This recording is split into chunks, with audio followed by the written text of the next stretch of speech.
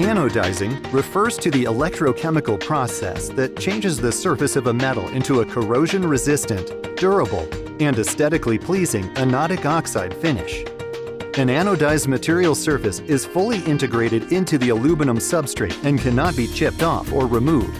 APEL's state-of-the-art semi-automated anodizing line ensures 100% environmental compliance of all finishing processes, capable of producing clear, champagne, bronze, and black finishes in up to 24-foot 3-inch lengths meeting the American Architectural Manufacturers Association Standard 611 Class 1 and 2.